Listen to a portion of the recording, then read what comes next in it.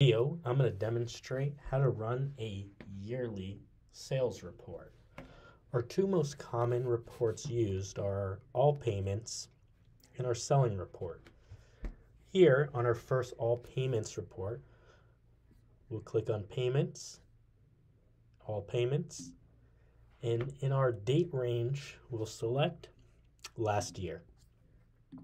Here, this will generate our all payments report where we can filter by payment type, source, card, patient, date range, stores, as well as export the report to any accounting software.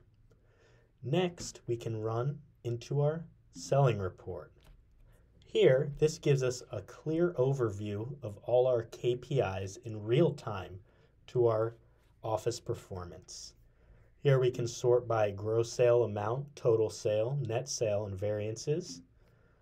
Then filter down by our store, provider, insurance. And in this case, again, we're going to go ahead and run our sales report for last year. Instantly, we'll get our real-time overview. If needed, we can print out report as well as download.